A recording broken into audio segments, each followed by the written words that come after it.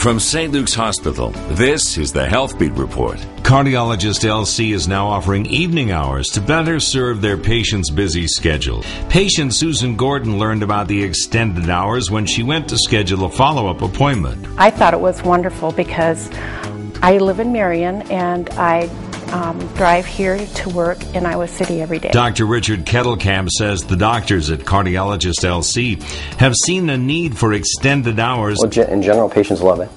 It's uh, it's a, again a convenience issue primarily, uh, and if the patients find that uh, it's no big deal when they come, it's it's nice for some of the patients because their family members can come.